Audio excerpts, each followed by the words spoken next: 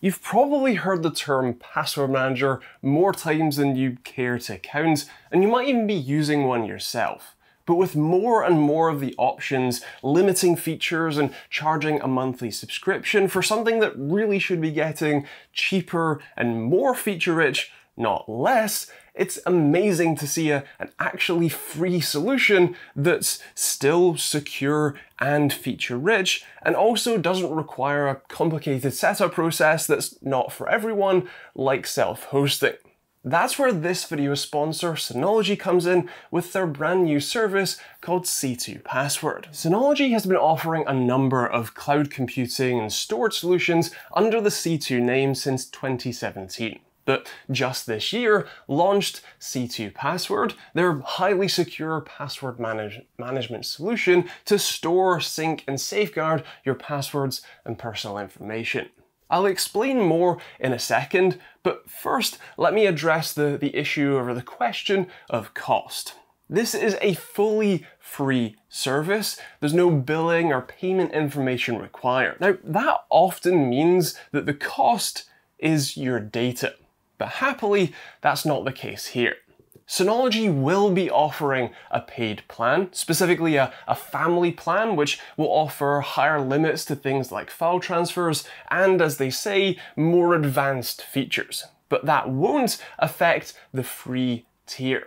Your data is fully end-to-end -end encrypted, so it won't be compromised by any interceptions, and on top of that, it's designed to be a, a zero knowledge proof system, meaning that even Synology can't access your passwords or secure data. The other hook is that once you're on the C2 platform, they hope that you'll like their features enough that you want to make use of their other C2 services, like their upcoming backup tool or their cloud storage solution.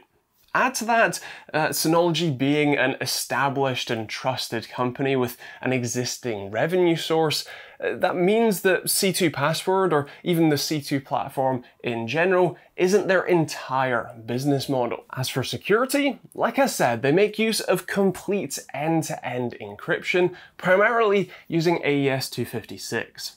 They have a white paper you can have a read through which details both how they derive the keys, including which functions they use, the transfers involved in securely registering your keys with their service, and how the data is stored and encrypted locally. So hopefully you can be satisfied with the security in business, and now I can explain the features. This isn't just a password manager, although it does that very well.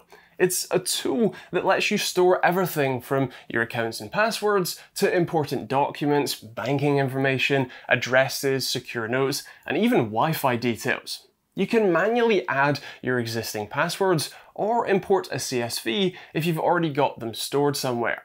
If you do it manually, you'll be able to not only add things like the account name, password, and what website that detail, login details for, but if you want to attach a note or even a file, you can add that in. Of course, when using their browser extension, it will automatically save the new passwords and then autofill them when you return to the site with details saved for it.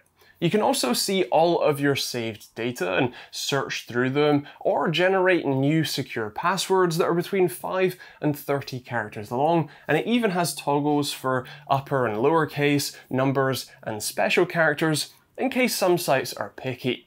You'll also be able to access your data from their upcoming Android and iOS apps, and no matter what device or browser you're in, you can always just head to their website and access all of your data from there. One limitation you'll often see is a cap on the number of devices your data will sync between. This doesn't have that limit.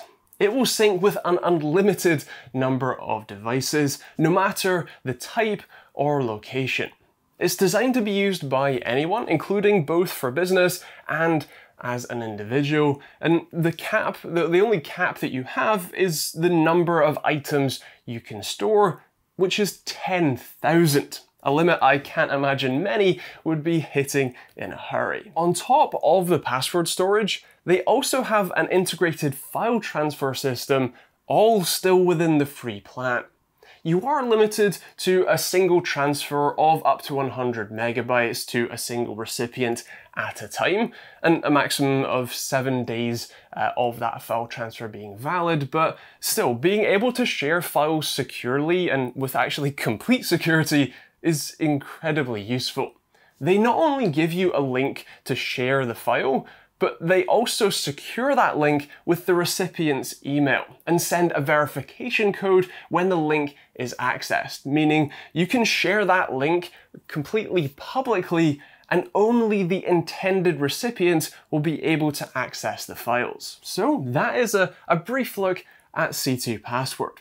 I'll be leaving a link to it at the top of the description so that you can go and check them out and even sign up yourself. I do want to thank Synology again for sponsoring this video, and I want to thank you guys for watching. I hope you enjoyed the video. Of course, if you have any questions, do feel free to leave those in the comments down below. If you have any of your own thoughts on the password manager, feel free to leave that in the comments as well. Uh, like I said, if you want to check it out, there'll be a link in the description along with a load of other links you can check out too. There'll be plenty of other videos on the end card you can take a look at. And if you want to see more videos like this one, both from software and hardware reviews and showcases and a load of other stuff, then do hit that subscribe button and turn on the bell notification icon. Otherwise, thanks for watching. Like I said, hope you enjoyed it, and we'll see you all in the next video.